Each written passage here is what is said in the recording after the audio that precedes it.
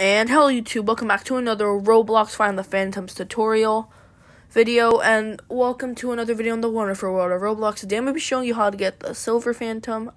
So first what you want to do is teleport to the desert realm and then you want to go into the pyramid and then don't go back out like I did again. Then go to the room I do and once you enter the room, there will be a door that's open, just like the last phantom.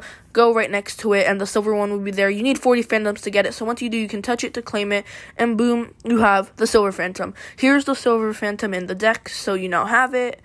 It's right down there. Yep. And I was gonna show you the copper one, so but I couldn't find it. So yeah, just ignore this part real quick.